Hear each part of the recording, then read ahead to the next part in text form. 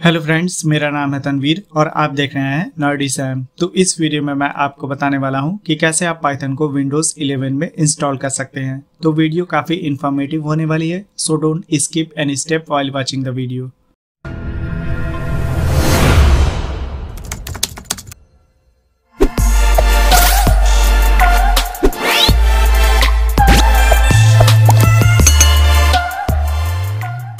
तो फ्रेंड्स, हमें पाइथन को इंस्टॉल करने के लिए सबसे पहले अपने ब्राउज़र को ओपन कर लेना है। मैं यहाँ पे क्रोम ब्राउज़र का यूज़ कर रहा हूँ। आप किसी भी ब्राउज़र का यूज़ कर सकते हैं। तो अब हमें यहाँ पे सबसे पहले गूगल को ओपन कर लेना है और जाना है सर्च बार में और यहाँ पे हमें टाइप करना है पाइथन डाउनलोड देन हमें इंटर प्रेस करना है। तो यहाँ पे हमें सबसे पहले पाइथन की ऑफिशियल वेबसाइट का लिंक मिलेगा। हमें इस पर क्लिक करना है, जिससे हमारे यहाँ पे पाइथन का ऑफिशियल वेब पेज ओपन हो जाएगा। और यहाँ पे दोस्तों आपको होम पेज पे ही विंडोज़ के लिए पाइथन को डाउनलोड करने का ऑप्शन मिलता है। और अगर आपको पाइथन लाइनेक्स और मैक के लिए डाउनलोड करना है तो आपको वो भी ऑप्शन यहाँ पे मिल जाता है। तो यहाँ पे हमें डाउनलोड करने का ऑप्शन डाउनलोड के अंदर भी मिलता है। आप देख सकते हैं यहाँ पे पाइथन का एक बटन हमें मिलता है, जो कि बिल्कुल फ्री है सॉफ्टवेयर और ये ओपन सोर्स है। तो हमें पाइथन को इंस्टॉल करने के लिए सबसे पहले इसे डाउनलोड करना है तो हमें इस पर क्लिक करना है। तो यहाँ पे हमारा पाइथन डाउनलोड होना स्टार्ट हो गया है। आप देख सकते हैं यहाँ पे। तो हमें थोड़ा वेट करना है।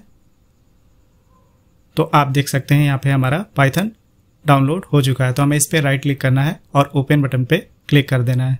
तो यहाँ पे हमारे सामने एक इंस्टॉल पाइथन का एक विंडो ओपन हो जाएगा। और यहाँ पे आप देख सकते हैं इंस्टॉल नाव का ऑप्शन मिलता है आपको। आपको यहाँ पे कस्टमाइज इंस्टॉलेशन का ऑप्शन मिलता है। और यहाँ पे हमें दो ऑप्शन और मिलते हैं।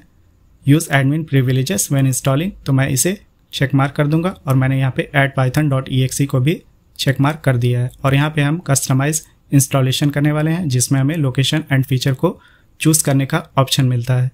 तो हमें कस्टमाइज इंस्टॉलेशन करने के लिए इस पर क्लिक करना है। तो आप देख सकते हैं यहाँ पे ऑप्शनल फीचर्स का एक सेक्शन ओपन हो गया है।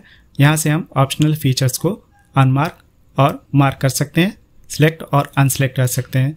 और यहाँ पे आप इसकी डिटेल्स को पढ़ सकते हैं देन आपको नेक्स्ट बटन पे क्लिक करना है। और यहाँ पे दोस्तों आपको एडवांस ऑप्शन मिलते हैं like install Python 3.12 for all user तो अगर आपको पाइथन को सभी यूज़र्स के लिए जो भी इस कंप्यूटर uh, में जितने भी अकाउंट है उसके लिए इंस्टॉल करना चाहते हैं तो आपको यहाँ पे चेक मार्क कर देना है और यहाँ पे हमें कस्टमाइज इंस्टॉल लोकेशन का भी ऑप्शन मिलता है। आप यहाँ से अपने पाइथन की लोकेशन जहाँ पे भी आप इंस्टॉल करना चाहते हैं वो यहाँ पे ब्राउज बटन पे क्लिक करके चेंज कर सकते हैं। देन आपको यहाँ पे इंस्टॉल बटन पे क्लिक करना है जिससे यहाँ पे हमारा सेटअप रन हो जाएगा। तो हमें यहाँ पे थोड़ा वेट करना है। जब तक कि ये सेटअप कंप्लीट होता है।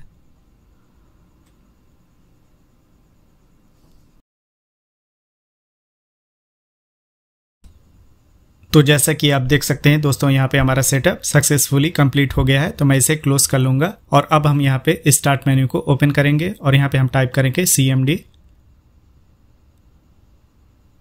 तो आप देख सकते हैं यहाँ पे हमारा कमांड प्रॉम्प्ट ओपन हो गया है। अब हम यहाँ पे पाइथन के वर्जन को चेक करेंगे।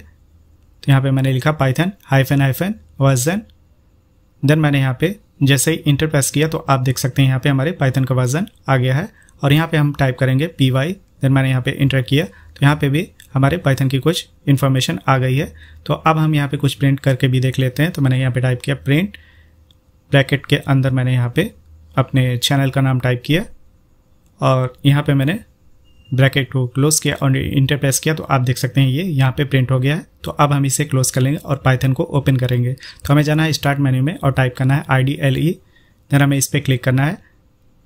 तो आप देख सकते हैं यहाँ पे हमारा पाइथन ओपन हो गया है। तो अब हम यहाँ पे सबसे पहले अपने फ़र्स्ट प्रोग्राम को टाइप करेंगे। तो मैं यहाँ पे टाइप करूँगा प्रिंट और यहाँ पे मैंने एक स्पेस दिया और ब्रैकेट के अंदर मैंने यहाँ पे टाइप कर दिया अपने चैनल का नाम। और ब्रैकेट क्लोज किया और इंटरवेस किया। तो आप देख सकते हैं ये परफेक्टली वर्क कर रहा है और अब हमें इसे सेव करने के लिए फ़ाइल मेन्यू में जाना है और यहाँ पे हमें सेव का ऑप्शन मिल जाता है। तो दोस्तों, इस तरह से हम विंडोज़ 11 में पाइथन को इंस्टॉल कर सकते हैं। सो फ्रेंड्स आई होप कि वीडियो आपको पसंद आई होगी। तो वीडियो को लाइक करें शेयर करें और अगर आपका कोई क्वेश्चन है तो आप कमेंट बॉक्स में लिख सकते हैं और चैनल को सब्सक्राइब करना ना भूलें, क्योंकि मैं आपके लिए ऐसी ही यूजफुल वीडियोस लेके आता रहता हूँ।